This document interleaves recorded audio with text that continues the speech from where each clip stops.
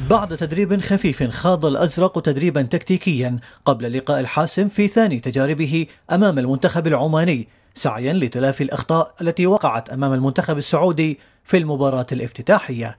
كل مباراة لمنتخب الكويت تعتبر مباراة مصيرية.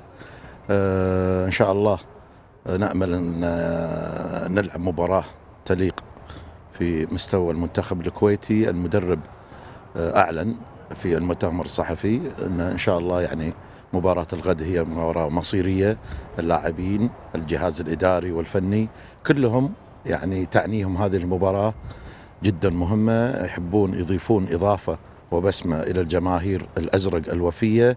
اللاعبون اعتبروا لقاء المنتخب العماني عنق الزجاجة فأما تجديد الفرصة أو المغادرة مبكرا مطالبين الجماهير مواصلة الدعم والحضور للحفاظ على آمال التأهل. المباراة هذه مثل ما قلت عن غز زجاجة مباراة جدا مهمة إن تطلعنا من البطولة أو تدخلنا بالبطولة.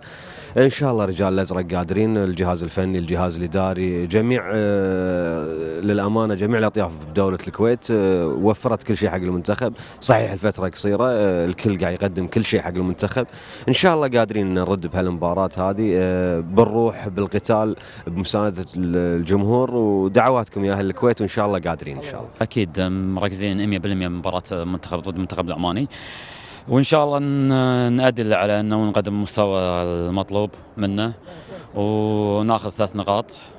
ونتمنى من الجمهور الكويتي الحضور لأنه هو رقم واحد بالنسبة لنا. ما نقول حق الجمهور تعالوا لانهم من غير دعوتنا وهم ما قصروا ويانا وقفوا ويانا بس إحنا نوعدهم إن حضورهم سند لنا وحضورهم وراح نردهم لبيوتهم مستانسين بإذن واحد أحد، إحنا ما نستغنى عن دعمهم، أما عن التكتيك الجديد إحنا المنتخب العماني غير عن المنتخب السعودي، منتخب عماني محترم فرض احترامه، فريق شاب، الكل عنده يدافع ويهاجم، عنده لياقة بدنية عالية، يلعب بروح واحدة.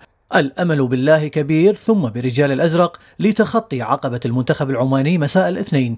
ليتجدد الأمل وتكون مباراة الإمارات هي الفاصلة.